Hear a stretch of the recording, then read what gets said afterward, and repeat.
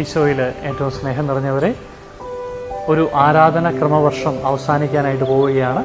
മംഗളവാർത്ത കാലത്തിൽ ആരംഭിച്ച് പള്ളിക്കൂതാശ കാലത്തിൽ അവസാനിക്കുന്നതാണ് ഒരു ആരാധന ക്രമവർഷം എന്ന് പറയുന്നത്. നമ്മൾ കഴിഞ്ഞ ഏലിയ ശ്രീവ മൂശാക്കാലം എട്ട് ആഴ്ചകളായിട്ട് ആചരിച്ചു.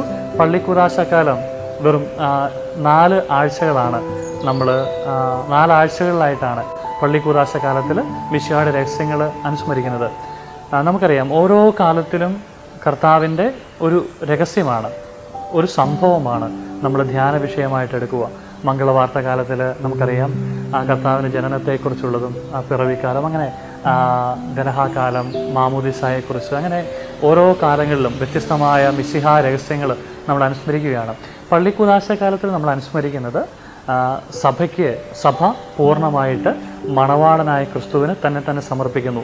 മണവാളനായ ക്രിസ്തു സഭയെ മണവാട്ടിയായ സഭയെ മണവറയിൽ സ്വീകരിച്ച് തിരുമുഖ ദർശനം കൊടുക്കുന്നു. ഇതിൽ സംപ്രീതിയായ സഭ മാലാഘ വൃന്ദങ്ങളോട് ചേർന്ന് മണവാളനായ ക്രിസ്തുവിനെ സ്തുതിക്കുന്നു. ആ രഹസ്യമാണ് നമ്മൾ ഈ പള്ളിക്കുദാശ കാലത്തിൽ ധ്യാനിക്കുന്നത്. ഈ രഹസ്യം ധ്യാനിക്കുമ്പോൾ നമ്മൾ ഓർക്കേണ്ട ഒരു കാര്യമെന്ന് പറഞ്ഞാൽ അതായത് വിശുദ്ധ കുർബാനയിൽ നമ്മൾ അനുസ്മരിക്കുന്ന രഹസ്യങ്ങൾ ഒരു വർഷം എടുത്തിട്ടാണ് നമ്മൾ ആരാധന ക്രമവർഷത്തിലൂടെ ആചരിക്കുകയും ധ്യാനിക്കുകയും ചെയ്യുന്നത്. അപ്പോൾ വിശുദ്ധൂർബാനയിൽ നമ്മൾ അനുസ്മരിക്കുന്ന ഒരു രഹസ്യം തന്നെയാണിത്. നമ്മൾ വിശുദ്ധൂർബാനയിലെ പല പ്രാർത്ഥനകളിലും യുഗാന്ത്യത്തിൽ ക്രിസ്തുവിനോടൊപ്പം ചെലവഴിക്കാനും ഉള്ള ആഗ്രഹം നമ്മൾ പ്രകടിപ്പിക്കുന്നുണ്ട്.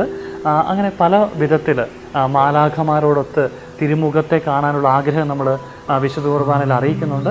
ആ രഹസ്യങ്ങളൊക്കെ നമ്മൾ എന്താണ് നാല് ആഴ്ചകളിലായിട്ട് പള്ളിക്കുറാശ കാലത്തിലൂടെ ആചരിക്കുകയാണ്. രാജ്യത്വ തിരുനാളോടുകൂടിയാണ് ഈ പള്ളിക്കുറാശക്കാലം ആ, അവസാനിക്കുന്നത്. അപ്പോൾ ഈ രഹസ്യങ്ങൾ ധ്യാനിച്ചുകൊണ്ട് പ്രാർത്ഥനയിൽ ഈ കാലഘട്ടം ചെലവഴിക്കാനായിട്ട് നിങ്ങളെ ദൈവം അനുഗ്രഹിക്കട്ടെ.